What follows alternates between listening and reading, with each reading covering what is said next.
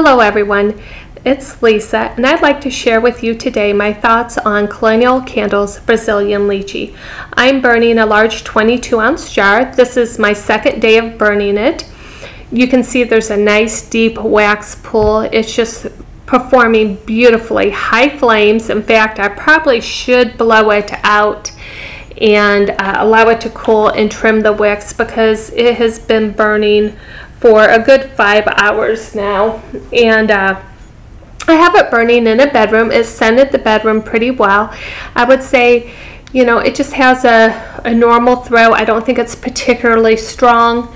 Um, I just say a medium throw.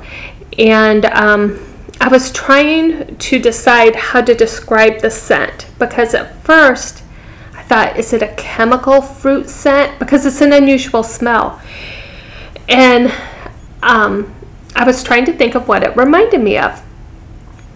And at first I thought maybe a chemical type of fruit scent.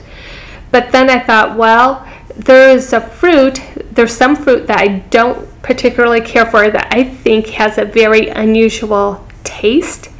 And it tastes perfumy to me, the fruit does. And uh, it was passion fruit. And when I pulled up the description, this has been burning, and before I give my description, uh, I print out the official description, and I just about died because guess what's in in this candle? Passion fruit.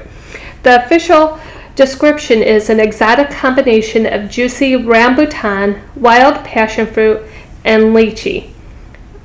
I don't know if I'm pronouncing that right. I've actually eaten the last fruit, the lychee. I've gotten it uh, in a can.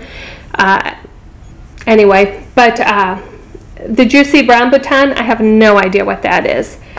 And the lychee, I remember eating it and to, I don't remember the scent, but I don't think it was a particularly strong scent. I want to say more like a fruit cocktail. Not quite a fruit cocktail, but it wasn't a strong scent. But the wild passion fruit, that's in here. And I think that that is what I'm smelling in this candle. Now, I might also be smelling the rambutan. But um, overall, I would say it is not my favorite fruit smell. I prefer strawberries and blueberries, and it's the passion fruit in here that is getting to, you know, that makes me not rank it as a favorite. If you like passion fruit, you would probably like this candle. Anyway, I hope this helps you as you make your candle purchasing decisions, and I'll see you next time. Bye.